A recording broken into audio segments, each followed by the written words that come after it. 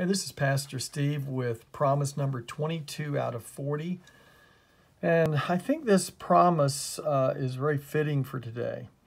Today is the day we, we look back on 9 11 of um, 2001 when the Twin Towers uh, were um, hit, as well as the um, Pentagon and the plane going down in the field in Pennsylvania where almost 3,000 people were killed. Well, there's a lot of people that were hurting back then, and then of course today uh, kind of reminds folks of um, of the hurt then, and uh, again they're hurting now.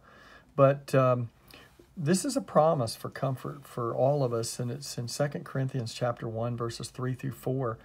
And it says, Blessed be the God and Father of our Lord Jesus Christ, the Father of mercies and the God of all comfort who comforts us in all our tribulation, that we may be able to comfort those who are in any trouble with the comfort with which we ourselves are comforted by God.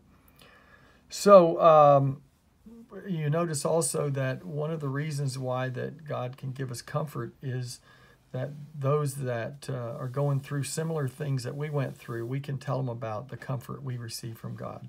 So have a blessed day.